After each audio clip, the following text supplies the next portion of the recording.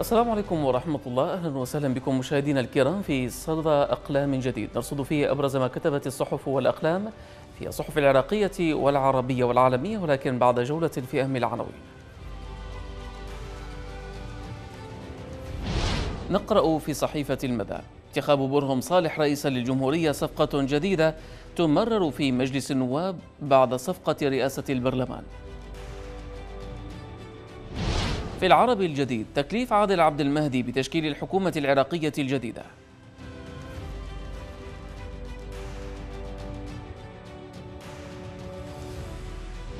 في الشرق الأوسط بارزاني يرفض آلية انتخاب الرئيس والعبادي يعترض على طريقة تسمية رئيس الوزراء.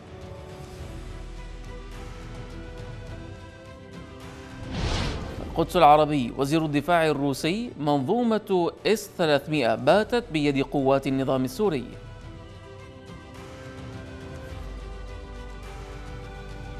في صحيفة الحياة فشل مساع لوقف اقتتال الحوثي ووفد من جماعتهم في طهران.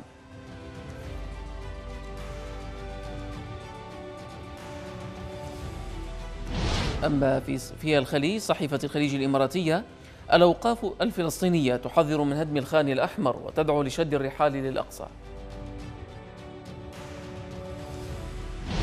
وفي العرب اللندنية فرنسا تجمد أصولا للمخابرات الإيرانية وتتهم طهران بالتخطيط لاعتداء قرب باريس.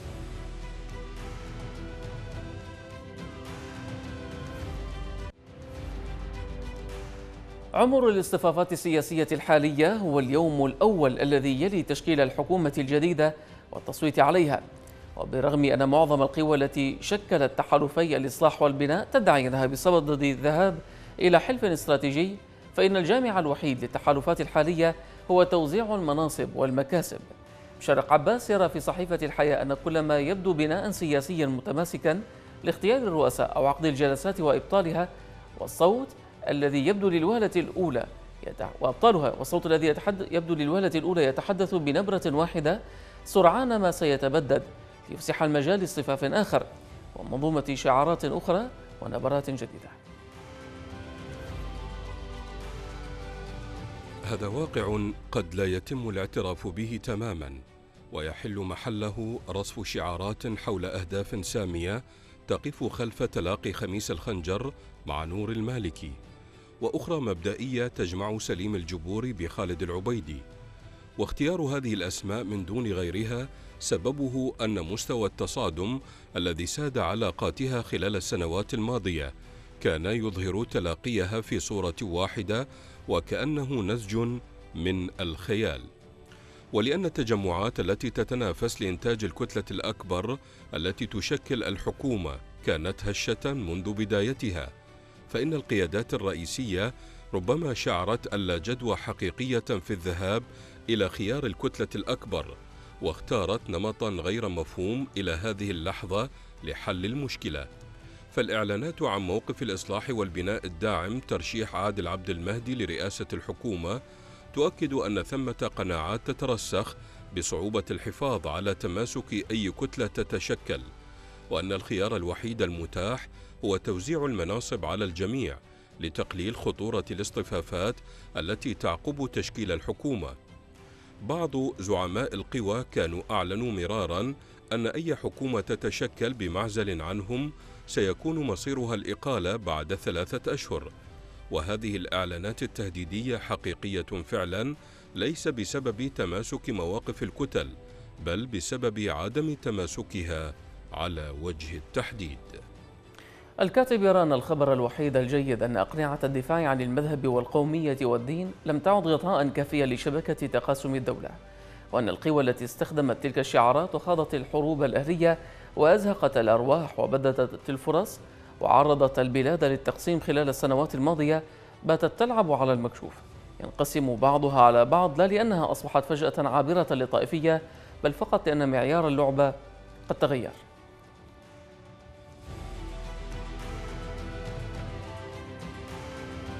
قالت صحيفة الإندبندنت البريطانية إن مطالب البصرة البسيطة أصبحت ورقة مشتعلة ألهبت المظالم العميقة. أشارت الصحيفة في تقرير أعدته مراسلتها بيلترو إلى أن العراق المتعب من ثلاث سنوات نزاع مع تنظيم الدولة يبدو الآن على حافة الانفجار. ففي الماضي تم التعامل مع أزمة نقص المياه على أنها الجانب المؤسف للنزاع لكنها برزت فجأة وتهدد استقرار المنطقة. تقول الصحيفة إن على العالم أن يقلق مما يحدث في البصرة فاستمرار أزمة البصرة وبقية مشكلات العراق دون علاج. ونقص المياه في العراق لا يعني فقط انتفاضات وعنف واضطرابات بل إنه أدى إلى تغذية التطرف والتجنيد له وانهيار المعيشة للناس والتهجير الجماعي. ويفيد التقرير بأن ما زاد من الأزمة في الصيف هو الطريقة التي تعاملت فيها الحكومة معها حيث قتل 27 شخصا برصاص الأمن وجرح المئات. وينقل التقرير عن المتظاهرين قولهم إنهم يتلقون تهديدات بالموت من الجماعات الموالية للحكومة والفصائل السياسية القوية التي تتحكم في المدينة مشيرا إلى أنه تم اغتيال سعاد العلي التي نظمت عددا من الاحتجاجات في وضح النهار خارج سوق. وتذهب الكاتبة إلى أن المطلب البسيط للمياه أصبح ورقة مشتعلة ألهبت المظالم العميقة والنزاعات المرة التي تجري داخل المجتمع العراقي المهشم.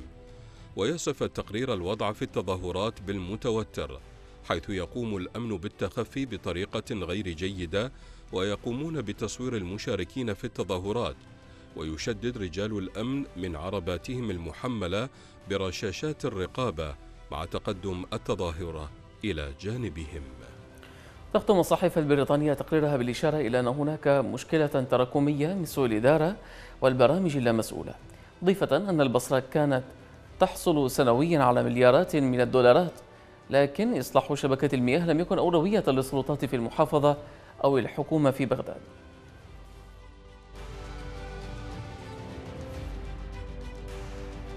أغلقت الولايات المتحدة قنصليتها في البصرة وطلبت من مواطنيها عدم السفر إلى العراق ذلك مؤشر خطير على خطوات غير محسوبة وغير متوقعة. قد تقدم عليها الدولة التي صنعت العراق الجديد بدستوره وتركيب نظامه وتصريفه لثرواته وطبيعة علاقاته مع العالم الخارجي وبالأخص فيما يتعلق منها بإيران.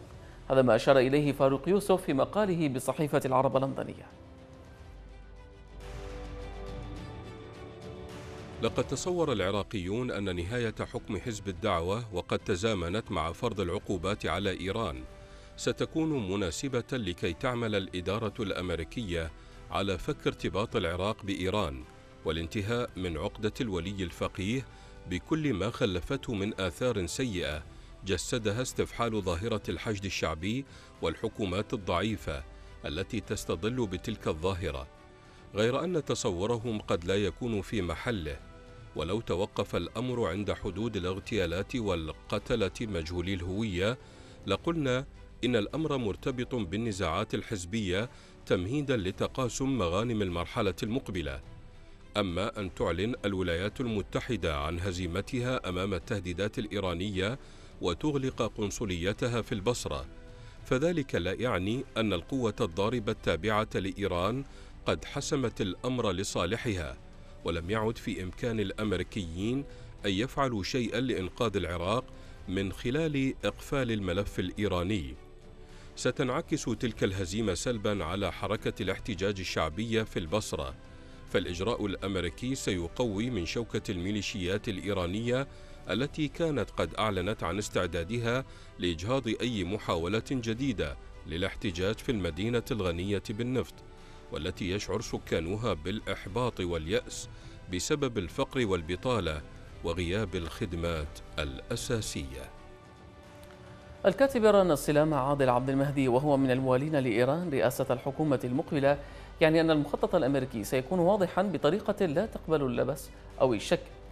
أو اللبس أو الشك سيكون على العراق أن يدفع ثمنا باهظا جراء وقوعه ضمن دائرة العقوبات الأمريكية. وهو ما يعني التنفيس عن إيران في أوقاتها العصيبة مقابل أن يستمر العراق دولة فاشلة يحكمها الفاسدون.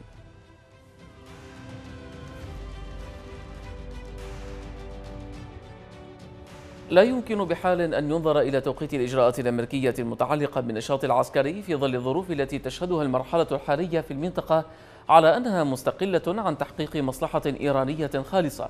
حتى لو كان المشهد مزدحما بالمعطيات الظاهرية التي تفترض وجود عداء أو خلاف عميق بين واشنطن وطهران. جهاد بشير يرى في صحيفة البصائر أن واقع الحال والحراك العملي في مسرح الأحداث يقول غير ذلك سواء كانت طهران قد أطلقت فعلا صواريخ على سوريا أم أنه مجرد ادعاء لتحصيل مكسب سياسي.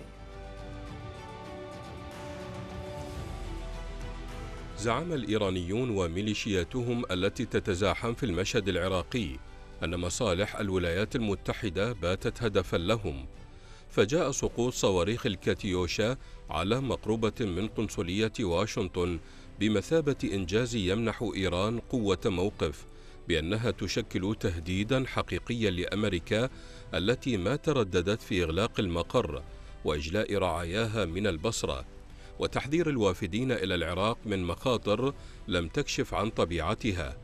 لتتقدم طهران خطوة جديدة في كسب الموقف.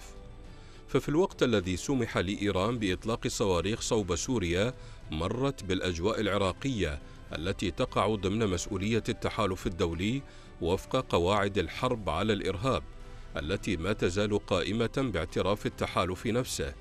قررت الولايات المتحدة سحب منظومات صواريخ باتريوت الدفاعية من قواعدها في ثلاث دول في المنطقة لتعطي رسالة ضمنية بأحقية إيران في العبث بالأخيرة كونها باتت تمثل قوة تهديد حقيقية ليس لذاتها أو مؤهلاتها بل لانسجامها مع المصلحة الأمريكية وقدرتها على أن تلبي لها ما تريد. وهو ما يفهم صراحة من قول ترامب الأخير بأن على دول الخليج والمنطقة العربية أن يدفعوا لأمريكا مقابل حمايتهم.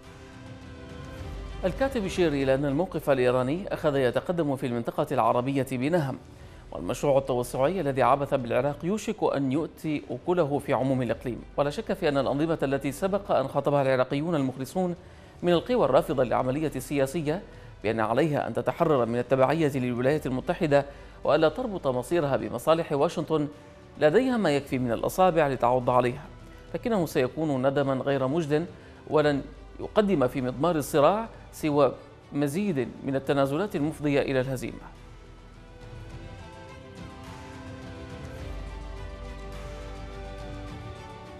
بإطلاقها حزمة من الصواريخ البالستية متوسطة المدى صوب أهداف تتاخم مناطق النفوذ الأمريكي شرقي سوريا تكون إيران قد اقتربت من الخطوط الأمريكية الحمراء دون أن تتجاوزها.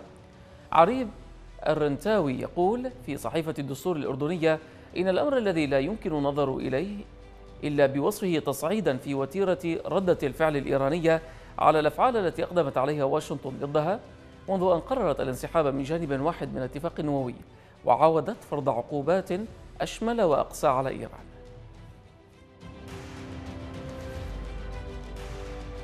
الأهداف التي ضربتها الصواريخ الإيرانية تعود لتنظيم داعش في حين أن طهران اتهمت منظمة أهوازية انفصالية بمسؤولية تفجير الأحواز. وبصرف عما إذا كانت هناك صلة بين الحركة الأحوازية وداعش أم لا فإنه يبدو واضحا للعيان أن طهران كانت تتحين الفرصة لفرض عضلاتها في مواجهة الولايات المتحدة التي من فكت تتحدث عن تقليم أظافر إيران وتقليع أنيابها الإقليمية ووقف تطوير برنامجيها الصاروخي والنووي على حد سواء. ما وقع في الأحواز والرد الإيراني الصاروخي في الداخل السوري يوفران تمريرا أو بروفا لما يمكن أن تكون عليه المواجهة بين إيران وواشنطن في المرحلة المقبلة. الأرجح أن إيران لن تكون بوارد الاستجابة للضغوط الأمريكية في سوريا والعراق ولبنان، وأن خيارها الأول هو المواجهة وعض الأصابع ومكاسرة الإرادات إلى أن تنجلي غبار الفضائح والانتخابات في الولايات المتحدة ليتضح بعدها ما إذا كان ترامب سيكمل ولايته أم أنه سينتخب إلى ولاية ثانية. يبدو وفقا لمراقبين أن طهران قررت الأخذ بنصيحة جون كيري القائلة بوجوب الصبر على ترامب لأنه لن يمكث طويلا في مكتبه البيضاوي. وبحسب الكاتب فإن الأزمات المفتوحة من اليمن حتى لبنان مرورا بالعراق وسوريا لن تعرف الهدوء والحلول أو التسويات النهائية. فطهران ستحرص على استنزاف واشنطن وحلفائها فوق هذه الساحات مقابل حرص أمريكي لخصته نيكي بقولها إن هدف نظام العقوبات الأمريكية ضد إيران هو خنقها وتركيعها توطئة لعودتها إلى المفاوضات وفقا لشروط الإدارة التي لخصها مايك بومبيو ب 12 شرطا. يعد كل منها بمثابة إعلان القبول بالهزيمة أو توقيع على صك إذعان.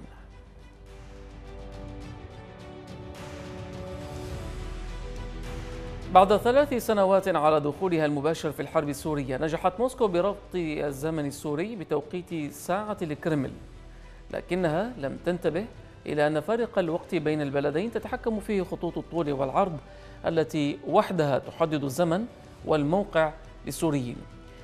مصطفى فحصر في صحيفة الشرق الأوسط أنه مع دخول الحملة الروسية على سوريا عامها الرابع باتت سوريا الروسية تمثل النموذج السياسي الذي يعمل جنرالات العقيدة البوتينية الجديدة على ترسيخه في العلاقة بين الأنظمة وشعوبها التي تربط بين النظام والاستقرار وبين حرية الشعوب والفوضى الهدامة. في بداية السنة الرابعة على تدخلها وتحقيقها إنجازا عسكريا ضخما مكنها من إبقاء رأس النظام في قصره وبعد تبدل موازين القوى كاملة لصالحها تعمدت روسيا إهمال الأصوات الإقليمية والدولية التي تطالبها بتغيير سلوك النظام أو إجراء تعديلات على طبيعة علاقتها بحلفائها أو في دعوتها إلى القبول بتسوية تراعي تحولات ما بعد الثامن عشر من مارس آذار 2011 إن لغة الانتصار التي تمارسها روسيا في سوريا تصطدم الآن بتحديات لا يمكن تجاوزها.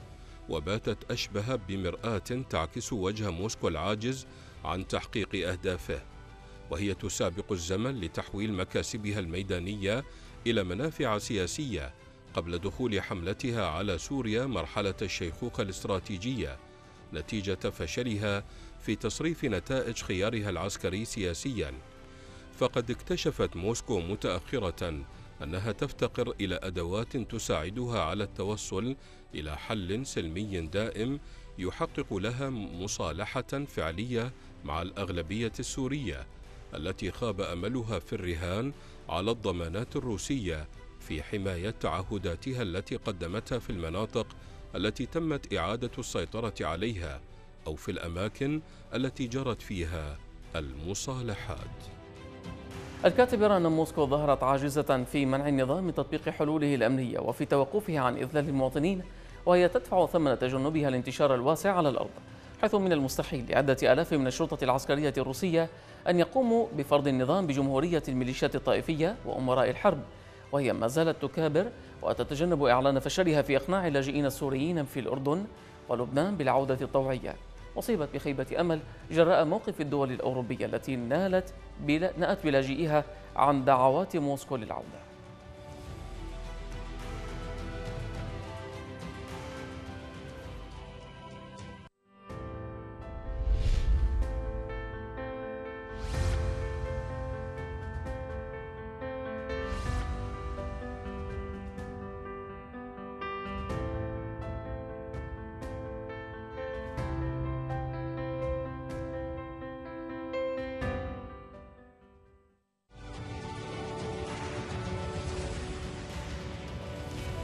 ابتكر باحثون من جامعة واشنطن في سياتل أول شبكة في العالم من ثلاثة أشخاص لنقل واستقبال الإشارات الفكرية من دماغ إلى آخر.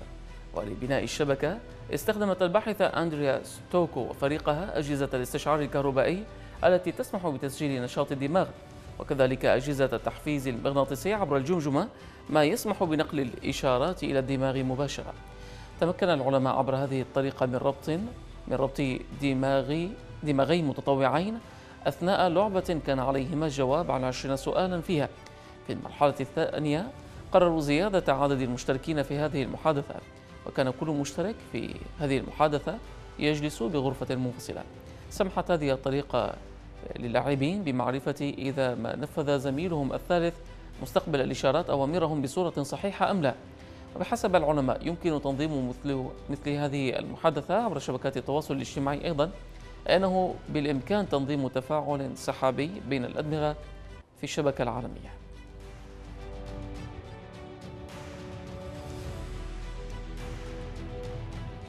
إلى الكركتير